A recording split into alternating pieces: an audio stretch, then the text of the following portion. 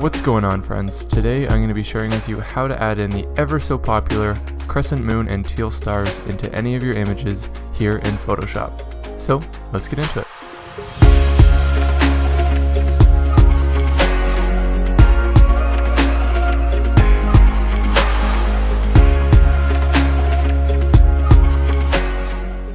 What's going on guys? My name is Brendan from Outbound Media and you can find me on Instagram at brnwills. Before I get started, I just wanted to let anyone who's new here know that I make new Photoshop tutorials every single Wednesday, so if that's something you'd be into, make sure to hit that subscribe button.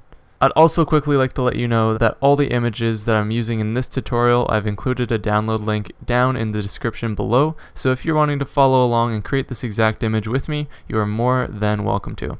I'm sure many of you guys have seen this sort of image on Instagram, and I've actually gotten quite a few requests to show how to make images like this. So that being said, this there's pretty much three things that make up these images. We have our base photo, and then we have our stars, then we have our crescent moon. There's really only three elements to these images. So the image that I'm going to be using as my base is going to be this cave. And now I'm going to be adding the stars and the moon just about here. And then so I also have my star photo and my moon. So the first thing that we're going to do is we want to cut out this area. So we pretty much just want to get rid of the sky. So since I pretty much just want to select out this blue area, the nice thing for us is that since this is pretty much all one color, there's not really any different shades of blue, our magic wand tool will select all that for us. So we can select our magic wand tool. If you don't see it, just hold and then go down to magic wand tool. And then all you have to do is click on the color, so like the blue. And now you'll see we get all our marching ants around and it pretty much got a perfect selection for me. So if it didn't get quite a perfect selection, say there's it's missing a little bit, you can just go up to select and then down to similar.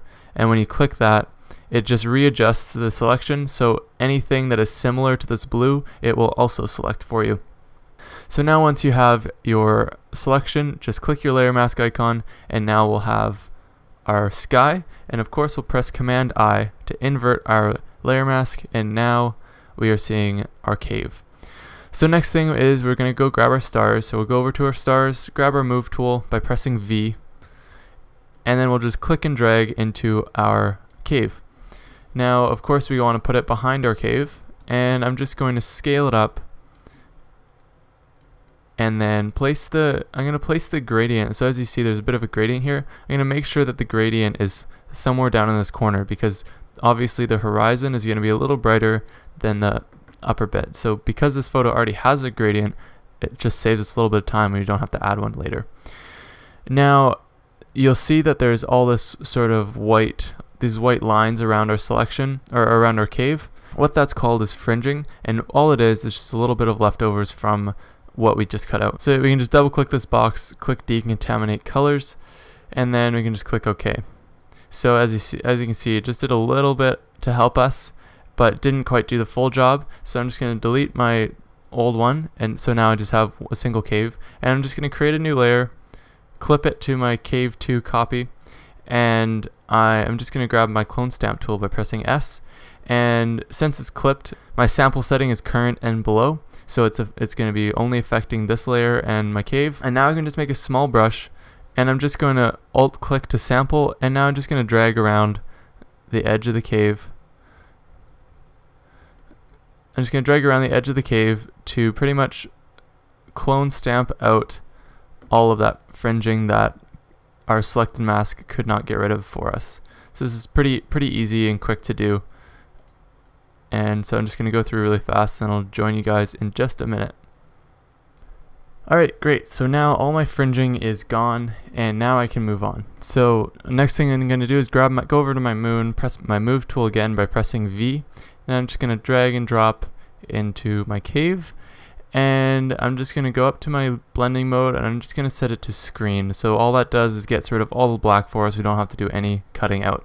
Now I'm going to drag it behind my cave 2 copy because say I want to put it over here. It is now in my sky and it's not going to overlap with my cave at all.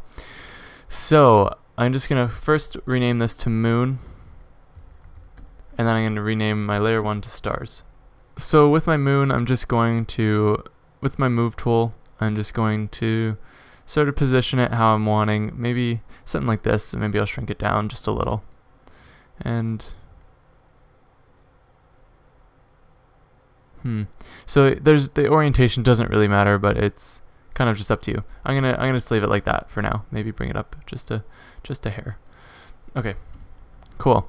So now I have my moon in there. Next thing is I want to make my moon a little bit brighter. So I'm just going to grab my brightness layer adjustment. I'm going to clip it to my moon. And now I'm just going to make it a little bit brighter.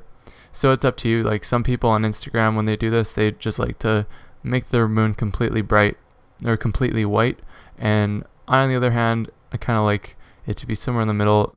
I'm going to create a new layer, make sure white is selected, and I'm going to grab my brush tool. And I'm going to make sure I'm using a soft brush. So I'm just going to enlarge my brush, and I'm just going to click right on my moon. Maybe, maybe make it a little bit smaller.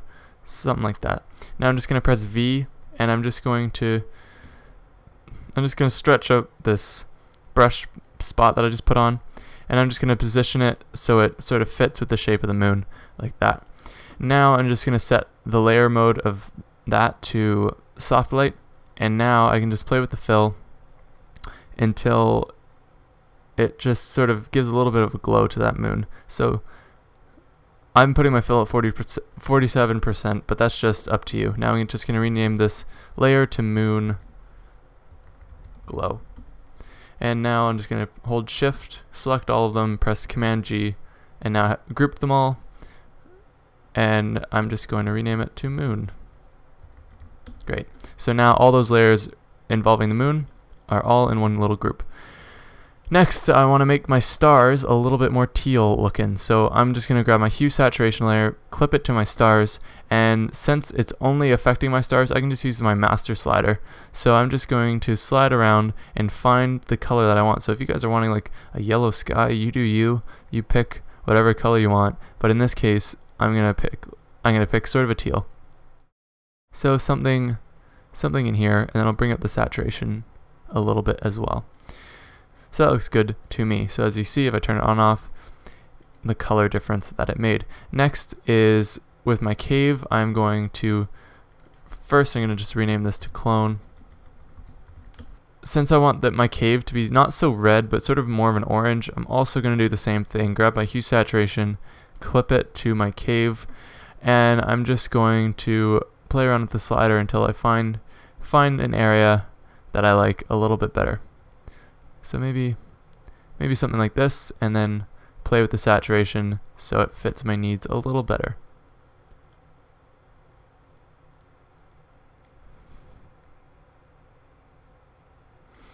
And that looks pretty good to me. So if I turn it on and off, again, you can see the difference that it made. This is totally personal preference, so you guys do your thing. As you might have noticed, the cave sort of has a faded look, and I don't really like that very much. So what I'm going to do is to sort of reverse that is I'm just going to grab my exposure adjustment layer, again, clip it to my cave, and I'm just going to get, with my offset slider, I'm just going to drag it back just a little. So now it just sort of takes down that fade just a little bit. Alright, now this is like pretty much done. But the only thing is that I kind of find this like a little bit boring, so there's not really a whole lot going on. So what I'm going to do is I'm going to add some clouds in the sky. So I'm going to create a new layer, and then I'm going to go to my brush tool, and I already have a clouds brush downloaded into my all my brush selections here. I'll leave a link down below as well if you want to download these the same cloud brush pack. I'm just going to probably pick two different clouds. So this is the first one I'm going to select and I'm going to make it, since clouds at night aren't white, they're sort of like a gray, I'm going to go sort of somewhere in the middle here. I'm just going to click once and then maybe make it a little bit smaller, put a smaller one down here.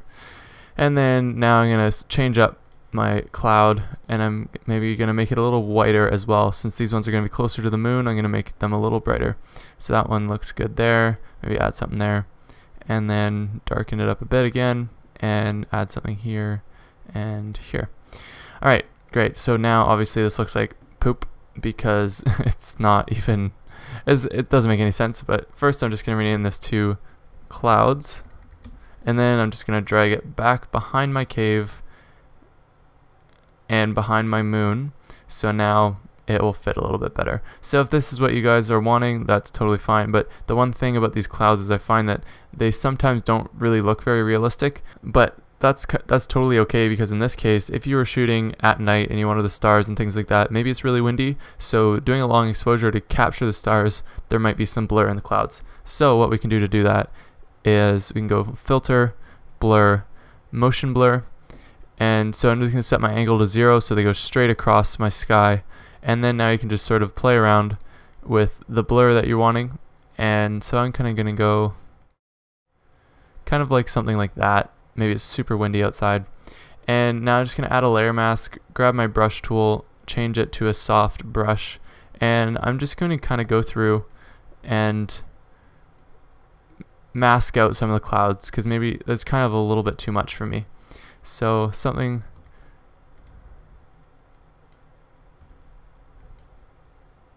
something like this works pretty nicely for me. And that is it. That is how you add the classic crescent moon and stars to your images, just like you see on Instagram. So if you found this tutorial helpful, I would love if you hit that like button and maybe even considered subscribing. I make new Photoshop tutorials every single Wednesday. Anyways, that is all I have for you guys for today. I hope you enjoyed this tutorial and you learned something as well. If you did decide to create this image, I'd love to see how your image turned out. So if you upload it to Instagram, make sure to tag me at brnwills. I would love to see it. Again, my name's Brendan from Outbound Media, and I hope to see you back here next Wednesday for another new Photoshop tutorial. See you then.